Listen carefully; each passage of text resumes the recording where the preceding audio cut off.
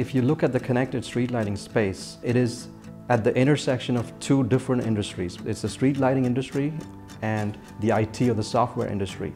If you look at a street lighting product, a fixture, um, that works for 15 years and it stays pretty much the same over the 15 year period. If you look at the software industry, everything changes very rapidly. This is the reason why we offer CityTouch in a software as a service model. This guarantees to our customer that whatever functionalities they have today, they will continue to have tomorrow.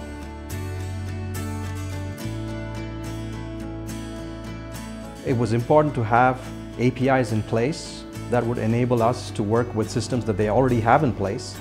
But also it was equally important to know that over time, newer requirements would come in and you would need to be able to enrich the APIs that you have today to um, work with things that don't even exist today.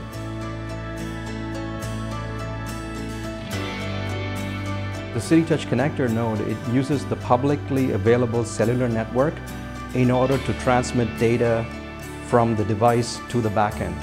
There are billions of devices that are being used on these networks today and they will continue to be used for many years to come.